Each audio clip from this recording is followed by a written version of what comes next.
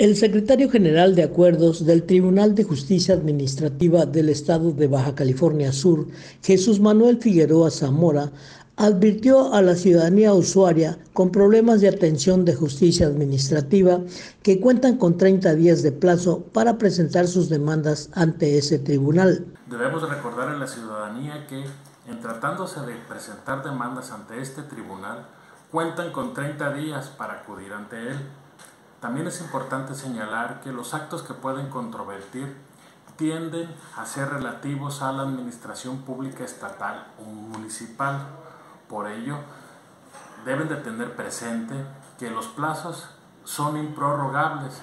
para que puedan acudir a presentar sus demandas ante este órgano. Figueroa Zamora reiteró que los actos de controversia administrativa solo pueden ser promovidos en contra de autoridades del Estado, municipios y de paraestatales.